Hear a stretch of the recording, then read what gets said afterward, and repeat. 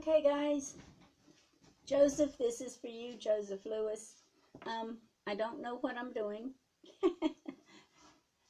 I don't know if this will go on, but I couldn't upload to the channel a video, and I couldn't. Uh, I I don't like electronics, so this is the rotary file, Joseph, and it'll do the same thing as your spheres and your flames as far as removal. But you wanted to see it working, so here we go.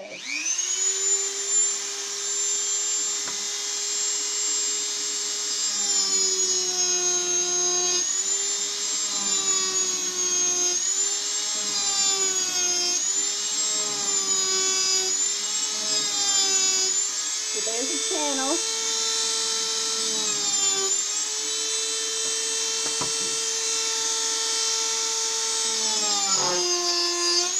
You can cut off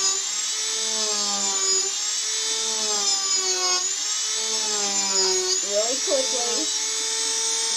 You can go in any direction.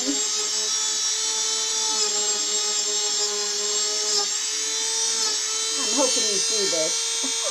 Can you see this?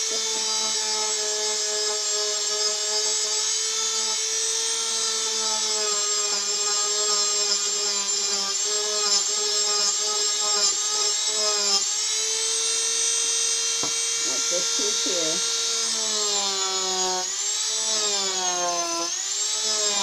And that's with very little ah. pressure, Joseph.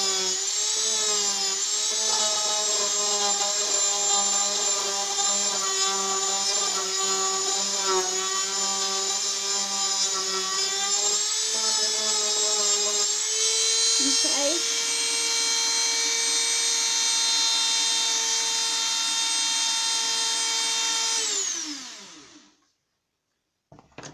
Okay.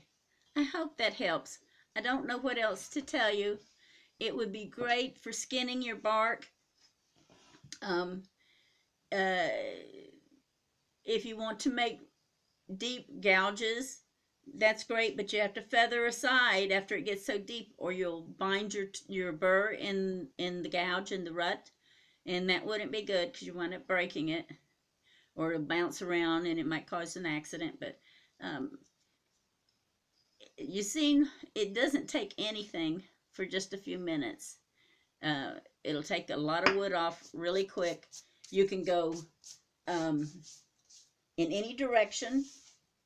You can cut and you can remove material. So I hope that helps. Um, I hope I can get this up on this channel. I tried to put something on uh, Carving Fusion, but I can't get a video to upload on there. I did a video in. anyway, this is the next best thing. We'll see if this works. I may have to send you step by step pictures.